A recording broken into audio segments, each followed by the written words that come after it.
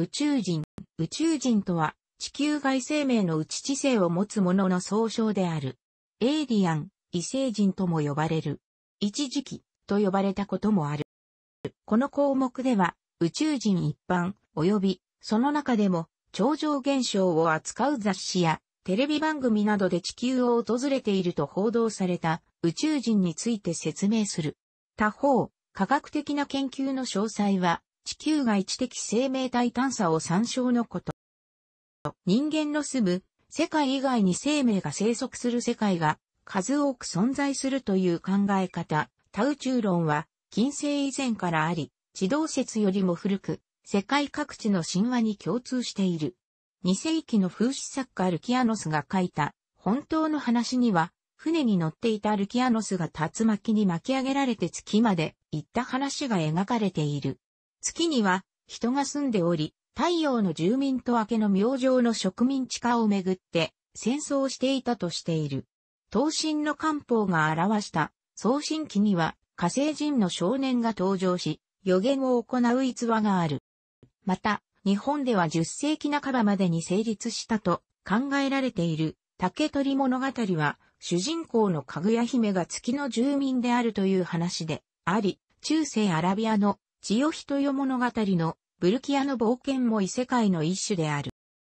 より科学的な地球外生命体の存在仮説は、太陽中心の太陽系への理解が深まり、さらに恒星間空間への理解が深まることで、発展したもので、近世のことである。そして、それを題材とした文学作品が17世紀及び18世紀に登場した。ヘンリー・モアは古代ギリシアのデモクリトスの地球以外にも生命の生息する世界があるという考え方をテーマとしてディマクリタス・プラタニサンズ、Or An Essay Upon the Infinity of Worlds、1647を表した。その中で我々の世界での太陽はよそにとっての星になるという相対的価値観を提示し、モアは太陽系外の惑星にまで思索を巡らせた。17世紀にはヨーロッパの教養ある人々にとっては地球外生命の可能性が常識となっていたが、失楽園1667の中でジョン・ミルトンは月面上の生命の可能性を天使がアダムに告げる場面、注意深く家庭法を使っている。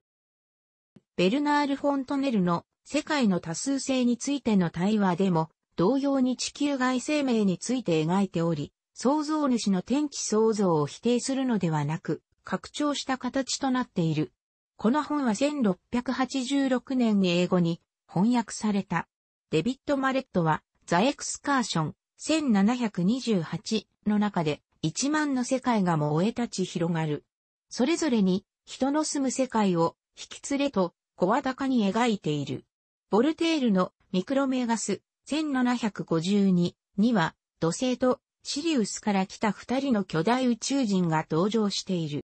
H.G. ウェルズは宇宙戦争1898で火星人が地球侵略にやってくる物語を描いた。ここから単純に地球外生命との最初の出会いを描くファーストコンタクトものや宇宙人による侵略を描くものが派生していった。まず様々な火星人が登場する作品が次々と書かれた。エドガー・ライス・バローズの火星シリーズ、1912から41をはじめとして、スタンリー・ジー・ワインボームの火星のオデッセイ、1934、レーモンド・ゼット・ガランの火星人774号、1934などがある。さらに、E. E. スミスのレンズマンシリーズ、1937から60などのスペースオペラでは、太陽系外の異星人も登場するようになった。A.E. バンボークトの宇宙船ビーグル号の冒険、1950では、凶悪な宇宙生命体をいくつも登場させている。第二次世界大戦後、宇宙人の描き方が多様化してゆく。レーブラッドベリの火星年代記1950は火星人と地球人の出会いからの話を叙情的に描いた。ロバート・エイハインラインの人形使い1951では、寄生型宇宙人による侵略が描かれている。アーサー・シー・クラークの幼年期の終わり、1953では姿をなかなか見せない宇宙人によって地球が無抵抗で征服される。ハルクレメントは20億の針、1950では他の生物の体内に潜り込んで活動する流動体型の宇宙人、重力の使命、1954では高重力に適応したムカデ型宇宙人を登場させた。ジャック・フィニーの盗まれた街、1955では人間に化けて徐々に侵略してゆく宇宙人が登場。フレッド・ホイルの暗黒星雲、1957は太陽系に突如出現した暗黒星雲が知的生命体だったという話である。ジェームズ・ブリッシュの悪魔の星、1958では、リチアという惑星の奇妙な姿の知的生物が登場する。ハインラインの宇宙の戦士、1959では、意思疎通不可能な昆虫型宇宙人などと戦争を繰り広げる。スタニスワ・フレムは、ファーストコンタクトをテーマとした3作品、エデン、1959、ソラリスの日のもとに、1961、砂漠の惑星、1964で、地球外生命体との意思疎通の困難さを描いた。その後、未来史やスペースオペラなどの形で、様々な異星人が描かれていった。ストリガツキー兄弟の未来史ノーンユニバース、1961から87、ラリー・ニーブンのノーンスペースシリーズ164アーシュラケージュイコールグウィンの1964から2000フランク・ハーバートのデューンシリーズ1965から85とジャンプドアシリーズ1970から77 CJ チェリー・アン・マキャフリーの諸作品ブライアン・ステーブルフォードの宇宙飛行士グレンジャーの冒険シリーズ1972から75などがある。フレッド・セイバーヘーゲンのバーサーカーシリーズ1967から2005は有機生命体を絶滅させることを使命としている機械生命体との戦いを描いたもので、同様のテーマはグレゴリー・ベンフォードの銀河の中心シリーズ1976から1995などにも見られる。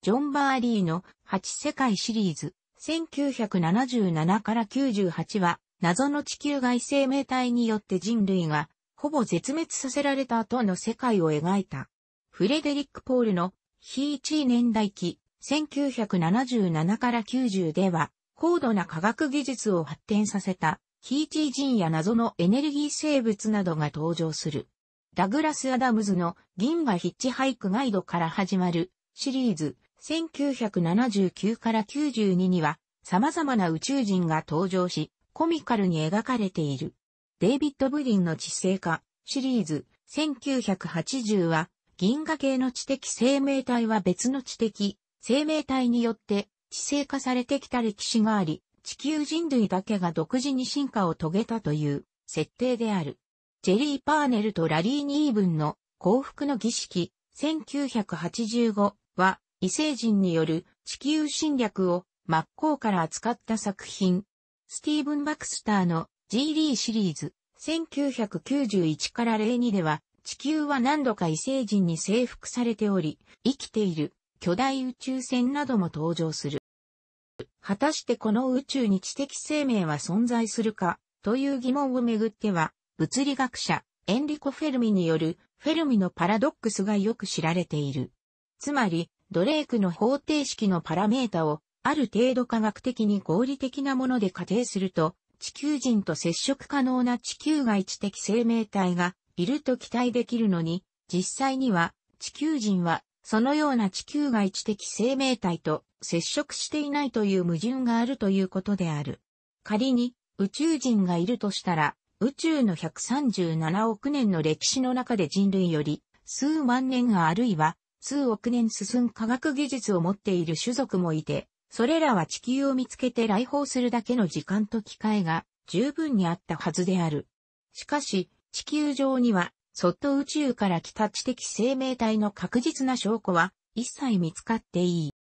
この矛盾に対しては、様々な解釈、意見が挙げられている。その一つは、ドレークの方程式のパラメーターの推定値である。信頼性の高い推定は大変困難であり、大量絶滅などの最近の地球生物の進化史の研究によると、これまで用いられてきた推定値は現実と比べると高すぎた可能性がある。地球生物の高度な進化、とりわけ人類の出現は地球史上の稀有の幸運の積み重なりであって、生物は発生しても知的生物までに進化することは、ほぼ不可能と言えるほど困難である。その意味で、我々、人類を含め、地球上の生物進化は極めて稀な例と考えられる。宇宙における生命体は比較的多くあるがそれらは原始的なバクテリアのレベルであり、人類と接触できる高い文明を持つに至った種族は文明的な接触が可能な距離にはいないという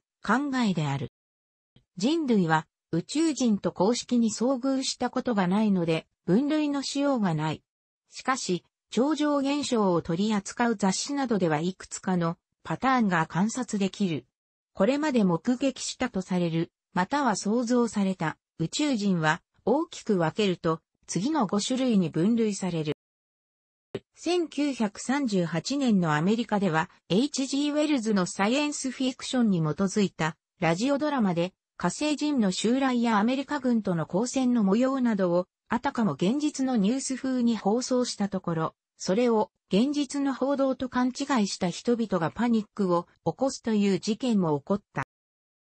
また、疑似科学、エセ科学と見られている小説の中には、宇宙人の存在にまつわるものが数多く存在する。アメリカネバダ州の国用地、エリア51には墜落した異星人の宇宙船が格納されており、宇宙人とのコンタクトがあったが政府はそれを軍事機密にしているとする説は比較的広く知られている。これをストーリーに取り入れた作品に映画インデペンデンスデー X ファルトがある。現実には同基地はステルス機をはじめとする新兵器の開発を行ってきたと考えられており、現在も継続している。極度な秘密維持体制で守られている。このような軍事機密が都市伝説を成長させる。火星に知的生命がいるという説は、イマヌエル・カントなどが支持していたが、19世紀末、パーシバル・ローウェルは火星に運河を発見したと主張し、これが知的生命体によるものだと考えた。これは前述の H.G. ウェルズによる小説宇宙戦争にも影響を与え、さらに宇宙戦争に登場した火星人の姿であるタコのようなイメージが広く知れり、後のフィクション作品にも同様の姿の火星人が多数登場している。しかしその後の研究によって火星の環境が極めて過酷であることが分かり、知性を持った高等な生命体が生息する可能性が低いことが判明した。しかし、太古火星にも川や海があり、温暖で湿潤な時代もあった痕跡が発見され、火星に生命が存在する、あるいは過去存在した可能性を完全に否定することはできない。南極で発見された火星由来の隕石から微生物の痕跡とみられるものが発見されたり、火星の凍土層に細菌等の微生物が生存していることはあり得るという説も提示されている。推定される地質学的環境条件から木星の第二衛星のエウロパにも生命が発生した可能性がある。しかし、地球外生命の存在と地球外知的生命の存在とは全く別の次元の論議である。太陽系内で地球外生命が発見されても、それは宇宙人の存在にはつながらない。捕獲された宇宙人として有名な写真は1950年3月ドイツの週刊誌ノイエ・イルストリアーテの総刊号に乗ったアメリカで宇宙船が墜落し火星人が捕獲されたというスクープの一部。翌週の事号でエイプリルフールだったと明かしたが6月にアメリカ空軍雑誌トークオブタイムスに空飛ぶ円盤事件の一つとして掲載したがエイプリルフールと書かなかったのでアメリカ空軍が掲載したというお墨付きを得て、世界各国の出版物に掲載され、孫引きを重ねるうちに元がわからなくなっていった。火星と並んでフィクション作品に登場することの多い宇宙人でもある。ジョージ・アダムスキーをはじめ、実際に金星人と出会ったという目撃談が雑誌などで出版されたが、金星の過酷な環境、摂氏400度、90気圧という高温高圧な環境であるから、火星やエウロパのような他の惑星、衛星と比べても生物は存在しにくいと考えられている。そのため、金星人に出会ったと言っている目撃者の多くが、インチキではないかと言われている。実際、有名なジョージ・アダムスキーも、自身の撮影した UFO の写真がトリックだと判明している。地球人と同じ姿だが、やや花が大きいとされる。金星はヴィーナスと呼ばれているので、その心理印象が投影され女性の美人の金星人像が生まれたのかもしれない。現代の科学研究の結果では、金星の歴史上に生命が存在できるような時期、なかった。要解説、登場作品など、爬虫類のような姿をした凶悪な性格の人間型のエイリアン。人間に変身する能力があるらしくすでに政府要人や有名人などになりすましていると言われている。その姿はアメリカのテレビドラマ V という作品に出てくる宇宙人、ビジターと酷似しているという。グレートは大きく異なり、外見は人間と見間違えてしまうほど人間に似通っている。スカンジナビア半島の白人に似たような姿をしていると言われている洋文献。その他にも宇宙人の目撃例や接触したと証言は数多くある。また、バシャールのようなチャネリングによる精神的宇宙生命体との接触と主張される例もある。さらに馬の一部も宇宙人ではないかという説、チュパカブラなどもある。しかし、いずれも確固とした裏付けはなされておらず、異星人が地球にやってきていると証明には至っていない。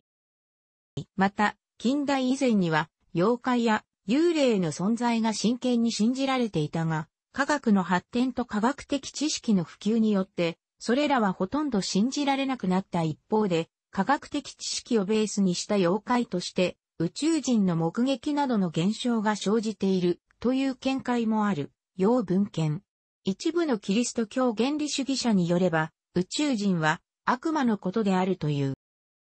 竹取物語に出てくるナヨタケのかぐや姫は、ラストシーンで月の戸に帰るため、宇宙人であると解釈できる。竹取物語が書かれたのは10世紀前後とされているため、宇宙人に言及した現存する最古の物語と言われている。この意見は1960年代の少年向けの漫画週刊誌に図解入りで掲載されたが、誰の意見であるかなどその経緯は公表されなかった。我々地球上生命の形態は、地球の環境、1G の重力、1気圧の大気、水が液体で存在する気温などに適応して進化を遂げた結果である。このことから地球と全く異なる異性の環境で進化を遂げた異星人は我々の想像を絶する異質な形態をしているとも考えられる。それどころか我々の知る生命に当てはまらない存在である。可能性すらあり、この観点から見るなら今までに火星などで行われた生命探査も不十分、かつ現在の技術、知識と常識内のものであるも言える。他の生命体が水や酸素を必要とすることを前提にした探査すらある。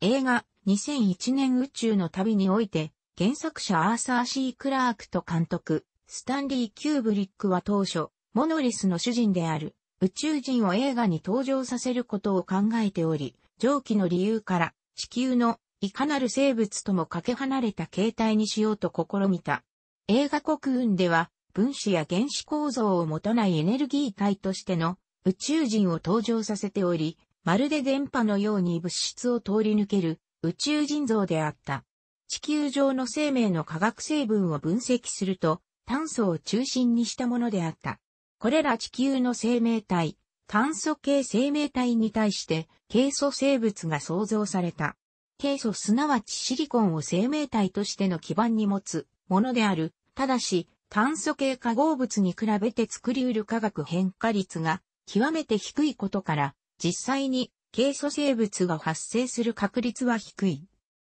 また、重力を専門に扱う物理学者、ロバート・エルフォワードが表した SF 小説、竜の卵においては中性子星に住む宇宙人を描いた。これは地球環境からは極端に遠い環境であり、摂氏8000度を超える環境で生きる生命体であり、生命体としての構造も中性子にて構成されるもので、極限に違う環境で存在する宇宙人像を創造したものである。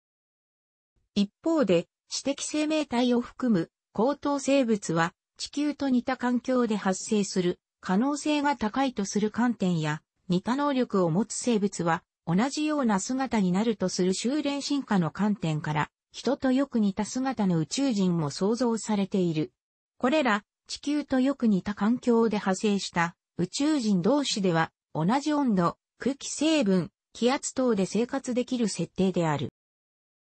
東大優が行政文書開示請求手続きに基づいて宇宙人から連絡や攻撃があった際の危機管理マニュアルの存在を内閣官房と防衛省に問い合わせたところ、類似するマニュアルは存在しないという文章による正式な回答があった2012年2月。楽しくご覧になりましたら、購読と良いです。クリックしてください。